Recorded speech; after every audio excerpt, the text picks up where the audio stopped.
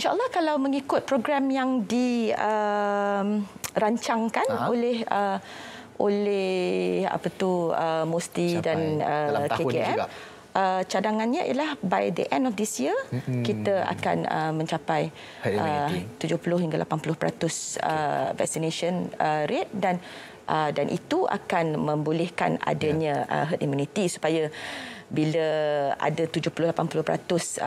yang yang apa tu dilindungi mereka ini boleh melindungi mereka lain ah. yang tidak dapat ah, ah, mengambil ah. vaksinasi okey